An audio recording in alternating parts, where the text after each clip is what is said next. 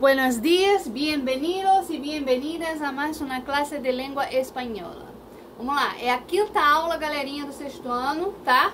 O tema aí dessa aula aí vai ser dados personales, são os seus dados pessoais e nacionalidades, são as nacionalidades. Temos aí um diálogo, ¿sí? Paco, empiezan Paco y Maite, dos amigos hablando. Entonces, es informal. Então é um diálogo informal, tá? É um diálogo entre dois amigos. Hola Maite, ¿qué tal? Buenos días Paco, estoy muy bien. ¿Te has enterado de las noticias? No, ¿qué pasa? Nuestra escuela va a recibir unos alumnos extranjeros. ¿En serio? ¿De dónde son ellos? Dos chicos de Argentina y una chica mexicana. ¿Qué tal hacernos una fiesta para ellos? Para recibirlos en nuestra escuela. Sí, claro. Voy a hablar con Paola para ayudarnos. Perfecto. Mi clase va a empezar. Hasta pronto. Te llamo por teléfono mais tarde. Hasta luego. Então aí é um resumozinho do que nós vimos de saludos, né? Que é saudar, né? Uma pessoa.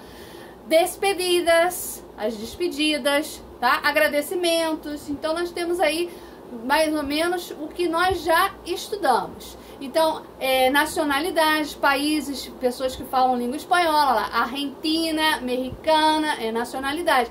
Quem nasce na Argentina é argentino, argentina e assim por diante. Então, é um, uma revisãozinha, nesse diálogo nós temos uma revisãozinha de, do que já falamos em sala de aula, tá? O hola, que tal, forma de, de saudar uma pessoa amiga informalmente, ok?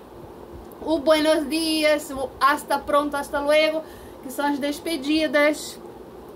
Aí começa aí, ó, datos personales, que é então nós temos a palavra nombre, nombre.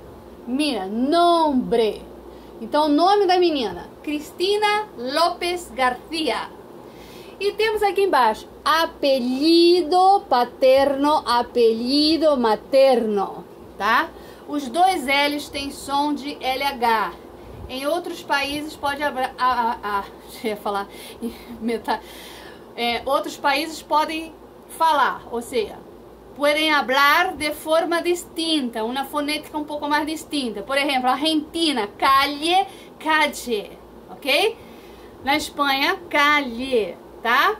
Então eu sempre falo com som de LH, não faço som de D como os argentinos. Então, apelido paterno é o sobrenome. Então, Lopes, o, o, o nome do pai, o sobrenome do pai vem na frente. Apelido materno, Garcia, ok?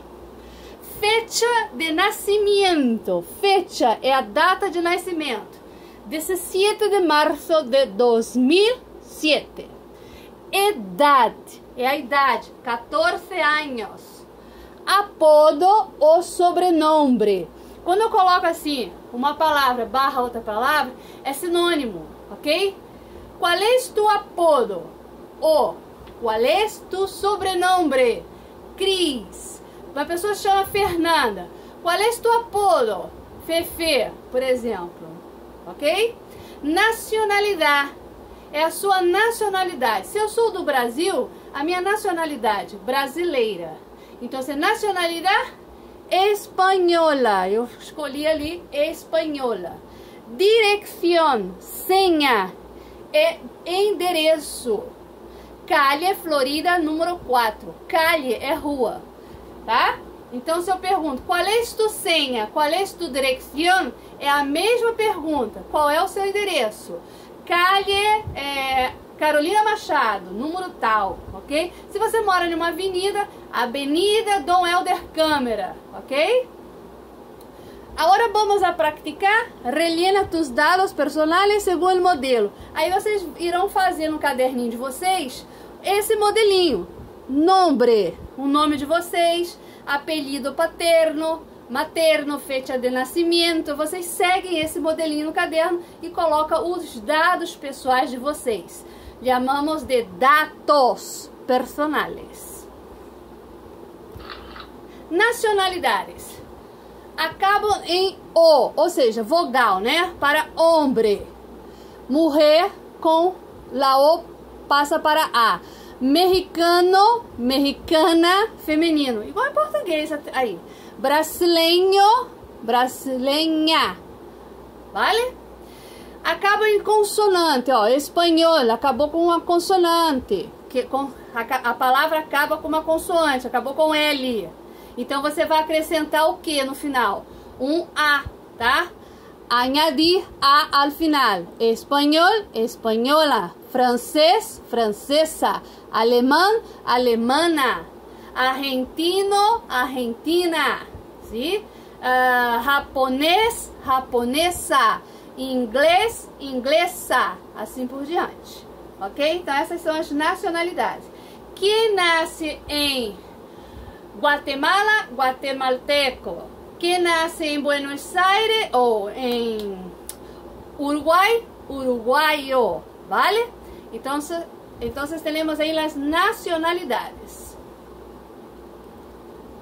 Para a casa de ustedes, es uma honra de exercício número 5, tá? Que vai falar justamente dessas nacionalidades, os dados pessoais, ok?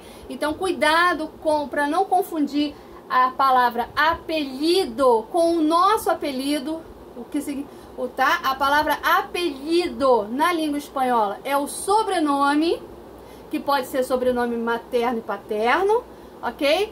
Começa com o paterno, depois o materno, tá?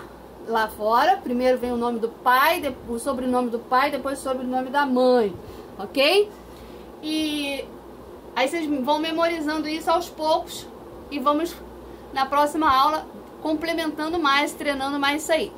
Vale? Então, hasta la próxima, hasta luego.